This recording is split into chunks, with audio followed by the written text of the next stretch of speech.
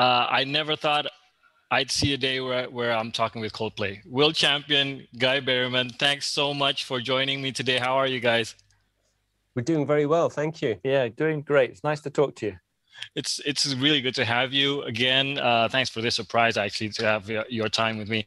Now, first of all, I'm just going to go to your latest gig. Uh, every Coldplay fan wishes they were in New York, of course. You're playing a, putting up a free concert. It's the talk of the globe. Now, tell us about this and what that concert means to you.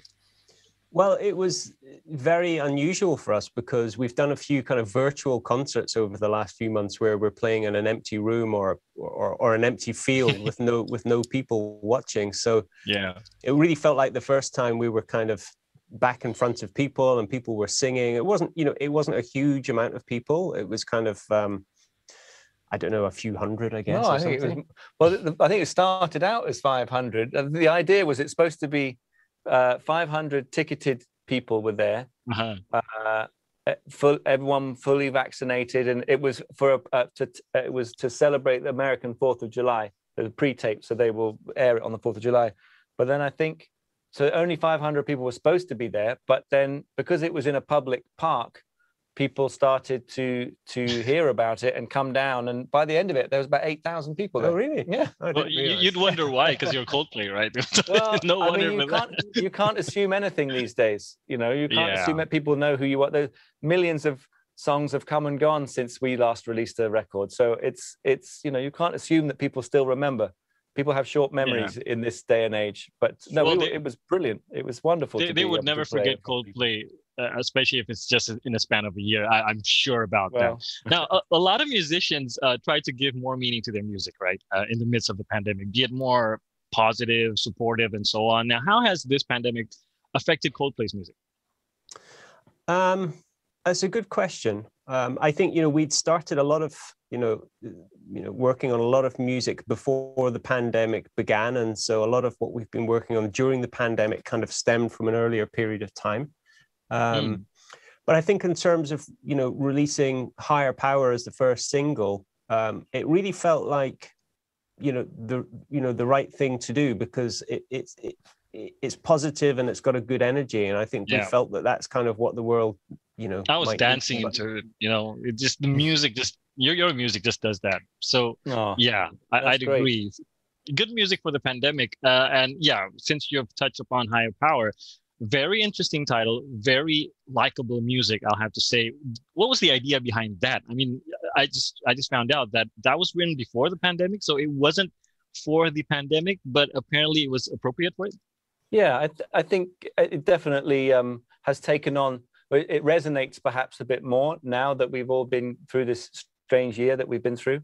I think uh, initially most songs start either with a with a, a piece of either a, a, rhythmic idea or a melodic idea or sometimes a lyric sometimes they mm-hmm. all come together at once but i think um, this song it became i think most when, when we start recording it, it becomes clear that there are a handful of songs that become important parts of the puzzle yeah. and this was the first one that came along where we felt like, okay, this is something that we can base things around, and it, it, it was the sort of key into the world that we were trying to to make. Um, and it's just really, like Guy said, it's a it's a song that is about positivity or finding whatever it is within yourself, whatever it is that makes you tick, whatever it is that makes you uh, feel great about yourself and and be a great person to others. So I think it's different for every person, whatever your whatever your higher power is, whatever the thing that you search for when you're when you're looking for answers. I think that's uh, that's what it's about. I mean, looking at the title and listening to it, I would think that you Coldplay made it for you know to support people during the pandemic, looking for, as you said, their higher power. But it's just amazing how they just kind of fit in, you know, uh, especially in our situation now.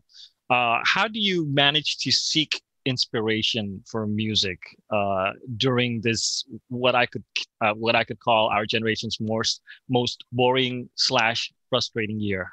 Mm. Um, well, I think. Well, first of all, I think we're you know all of us you know individually are are you know just so passionate about music and we're always mm. listening and consuming lots of music and searching for new things and um, I, I, and we're always, you know, we're always pushing on new ideas. Um, and and so, pandemic or no pandemic, I think that's something which just that's just what we do, you know. Mm-hmm. Anyway, um, so you, can, you, you just know, can't do it any other way, right? You just go for your passion. Yeah, exactly. You know, we're you know yeah. we live you know we live to be in this band, and we're always you know we're always coming up with you know hundreds of ideas, which always end up kind of getting short, you know, lesser and lesser, and they kind of you know they might end up a few of them might end up turning into songs, you know.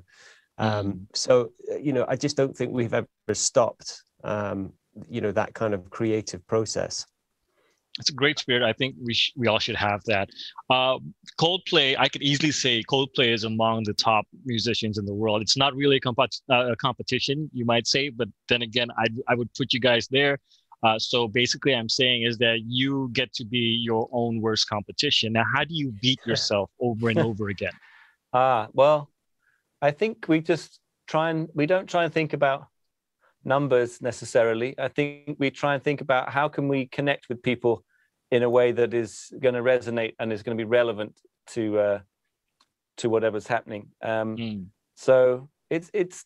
I think the first thing we do is is try to recognize that any new collection of songs, whether it's an album or just a single or an EP or whatever, it has to represent something different to something than than what we've done before. Even if it's not massively different, but it has to be a progression in some way. So whether it's that we work with a new producer, we're lucky. We've been so lucky to work with Max Martin on this mm. on, on this project, and that for us has been extremely exciting um, because it it's, takes a while for us to trust other people's opinions and and when we've been working as a small group for so long, uh, to invite someone into that circle is is a quite a big deal for us. Mm. And, but he's just such a wonderful talent and such a safe, someone whose opinion we trust implicitly. And so we look to try and collaborate with people that we love. We look to try and uh, explore musical styles that we haven't done so much, or we just try to to, to push ourselves. So yeah, in the hope that it will that some you know that it will it will lead us to to to, to move forward and I'll have to say, we love you for doing that. Now, I, I gathered some questions from our followers here on Kompas TV. I just have to ask them. So this yeah, is from Cindy Sistiarani and also Fafifar7693. She's going to go crazy after I read this to you. Uh, when are you coming to Indonesia? Don't you miss us? Oh, we do. We absolutely miss you, and we and we love to come back as soon as possible. Um, you know, you know, we we we're a band who needs to go on tour, and we're desperate to you know come out and see our fans everywhere. Actually, um, but of course, the challenge that we face at the moment is just how do we do yeah. it? What are the rules? Where can we go? Where can't we go? Um, but you know, you got to you know believe me when I say we are trying our best to figure it all out. well, you just need to know that we miss you too. Second question from Penny1109. What is your inspiration when you write such such deep lyrics? I really like Fix You. Ah, well, I think different songs, it's, it's different for every song. I think that particular song is about trying to help someone who's going through a very difficult period, about uh, someone who's grieving for someone they've lost.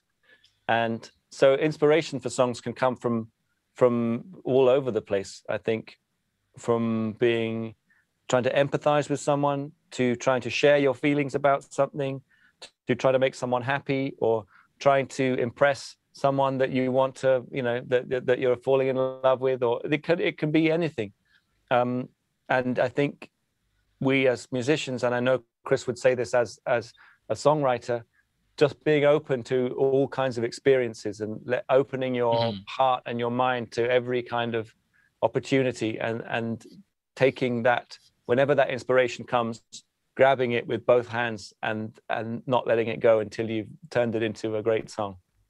All right Guy Will i only have uh, time for one last question. It's not okay. even it's not even really a question. Uh, complete this sentence. Guy Whoa. goes first. When you try your best but you don't succeed Guy? Um gosh, try tr- try again. try again. Okay, Will, what's your answer? Uh, well, I'm going to revoke, revoke to just revoke just normal kind of straight down the line when you get what you want but not what you need. That's what I would say. Oh, okay, okay. So that's a, that's there's already an answer there. Yeah. Will Champion Guy Berryman, thanks so much for talking with me today. You guys have a great time. We'll see you here in Indonesia once this pandemic is over. Will do. Thank you so much. Thanks, Tim.